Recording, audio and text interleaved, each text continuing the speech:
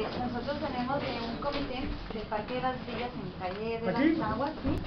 y, y Aranjuez, que ese comité este, nos apoyó, aquí nuestro delegado, nos apoyó porque venimos a pedirle apoyo para cuidarlo porque es un parque muy concurrido, pero estaba muy descuidado, no había vigilancia. ¿Ya lo arregló?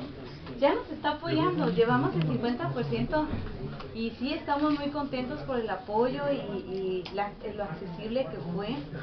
Entonces, este, pero pues sí nos faltan más detalles. Este, nos gustaría que si nos pueden ayudar con una caseta móvil, porque hay personas que llevan sus perros pitbull y se los avientan a los niños que tienen sus perritos chiquitos, con esos mismos perros asaltan a la gente, venden droga. Entonces necesitamos más vigilancia que si nos pueden apoyar con una caseta móvil, incluso que si también nos podrían ayudar para, para apoyarnos a aceptar el parque totalmente porque está destruido, los mismos malandros lo han roto para meterse, este, lo hemos arreglado con alambre y eso, pero pues, necesita el, el cerco. De hecho, también queremos aprovechar de que como es una calle muy concurrida, porque hay una escuela y una secundaria, la calle de las aguas pasan con mucha velocidad. Ha habido muchos accidentes, incluso muertes.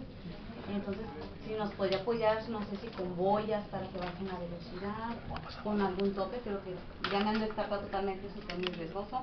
Un semáforo, Como es un- bulevar, no puede haber todo. Boyas así como, como de las que están en el boulevard, ¿no? esas chiquitas así, nada más para que bajen la velocidad. o un Tenemos un puente, recorrido, presidente. Vamos o a- un puente, si tiene tiempo, este, o un puente peatonal o un semáforo. Cualquiera de esas opciones que nos pudiera apoyar, pues le agradeceríamos demasiado. Ok. Porque si ha habido accidentes de los niños que cruzan de la escuela. Y Ok, también no, este, Ahorita aquí está el secretario de Seguridad Pública, el secretario Lares, ahorita lo voy a pasar con ellos y esos dos temas se los van a exponer. Yo no sé si es factible la, eh, la caseta porque está muy cerquita aquí la, el distrito. Lo que sí podemos hacer es reforzar la vigilancia y tener más presencia policíaca ahí, a lo menos para que le bajen velocidad y empezar a correr a los malandros y si es necesidad de, de mandar en la perrera a recoger los perros, eso también se puede, ¿eh? Sí, sí, porque es muy riesgoso para los niños. Incluso este hace, nos apoyó aquí en nuestro delegado con poner columpios, porque como es muy concurrido, se lo robaban, no había. Y ahorita ya está más. vamos a empezar con un programa de estar así que regenerando los parques que están muy olvidados. Sí. Entonces vamos viendo a ver qué podemos hacer. Si es necesario hacerlo, pues vamos a ver cuánto cuesta, ¿no? Cuánto cuesta y vamos a pedir a la seguridad pública que esté pendiente y que nos ayuden ustedes los vecinos a cuidarlo, ¿no? No, sí. Identificar los malandros, porque todo el mundo conocemos el malandro en nuestras colonias. Claro. Hay que identificarlo y hay que así, pues, sacarlo de la zona, ¿no? Sí, entonces la otra también sería de que se nos podrían apoyar con, con bancas, porque no hay donde sentarse. Bancas del parque. Bancas para el parque. Eso sí.